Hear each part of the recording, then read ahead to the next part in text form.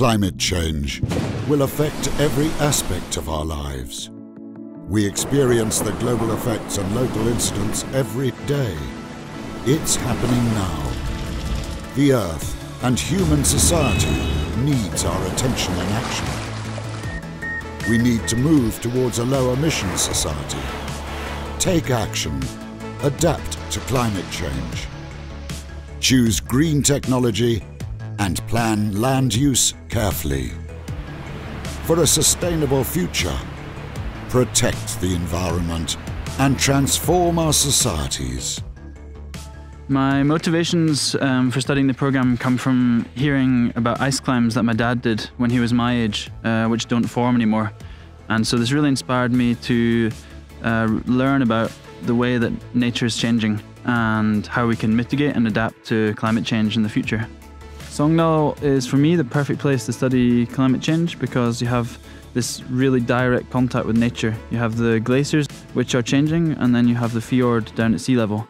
So you really have this direct contact with nature and it inspires you to learn about and, and really study climate change. And for me it's really important to be able to you know, go to the library in the morning and then go up and snowboard in the afternoon and you have all these passionate people around you as well who are really into the same things. For me, I especially like that this study gives you a practical planning competence to evaluate the risk of landslides and floods in aerial planning. This is because I'm from a small place in Norway where we experience a lot of rockfall and floods.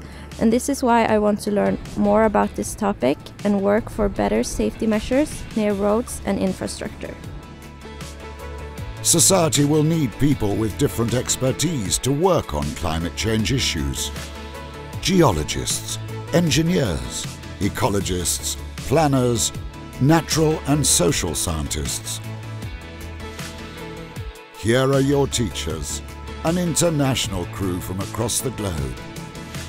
The outstanding Sognefjords region offers the opportunity to study climate change in action by the fjords, the mountains and the glaciers.